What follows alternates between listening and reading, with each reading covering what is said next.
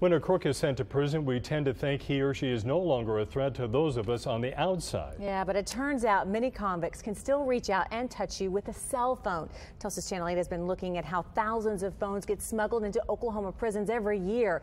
Just imagine the criminal who victimized you can now call you or his criminal buddies. Channel 8 investigative reporter Maureen Wurtz is here to tell us more about this mess. And Maureen, why can't the prisons stop this? It's not so easy. There are all kinds of ways to smuggle things to the inmates, and cell phones are among the most valuable.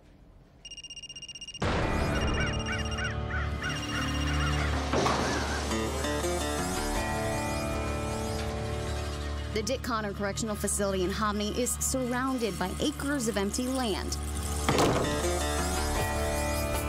But prisoners here are anything but cut off.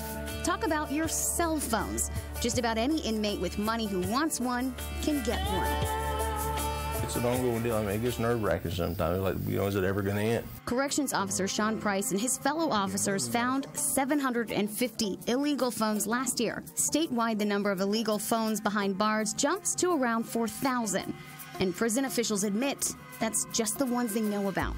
And the rule of thumb is you're usually getting maybe 10, 15% of what's coming in.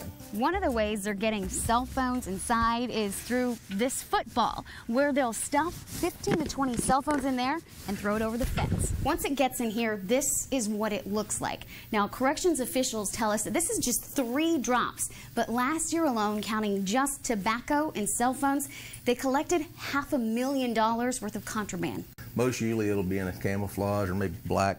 Price says his officers have found phones stuffed in tires on a trailer, wrapped in grass, lying in a ditch, or packages in the mail. Nationally, prison guards have been caught bringing in cell phones. So at what point did you realize that cell phones were going to be such a big problem? But Warden Janet Dowling says not here in Oklahoma. It puts everyone here at risk when you have staff that are willing to compromise uh, law a state law to do those types of things. It puts all of our safety at risk. With so many illegal cell phones in use, why not just jam the signal? Well, that's illegal. So to try and stop the problem, prison officials have turned to the K9 program. So all of these, like, so would Riley would be able to detect any type of cell phone? Mm -hmm. Yeah, um, we've done the smartphones, flip phones, uh, BlackBerry style, um, with, without batteries, with, without SIM cards. Riley is a rescue dog and unique. Good boy. He's the only cell phone dog that's been certified by the National Police Canine Association. Something there? Is there something there, buddy? Good boy. Good boy. When Riley and his handler, Derek Anderson, hit the block, they're ready for work. He's, he's a nightmare for, for inmates. Um, they don't really know exactly what it is he's smelling. So they try and mask the odor with spices, wrapping up the cell phone in cellophane, different things. Boy. Riley has found about 100 phones in prisons. But still, it's a game that the DOC is playing against inmates and losing. Yeah, you get the alert where you search and nothing's there, but it's the leftover odor.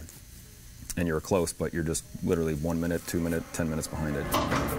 So you got old phones, but you also got some some smartphones as well. Well, you got to have a price range. Some guys can't afford the nice phones.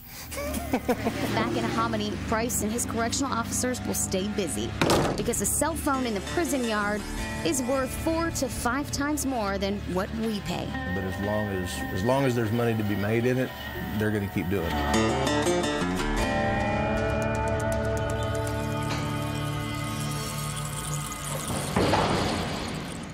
So you can't jam the illegal phones without jamming every cell phone in the prison. And besides that, it's against federal law. So it's definitely a tricky situation.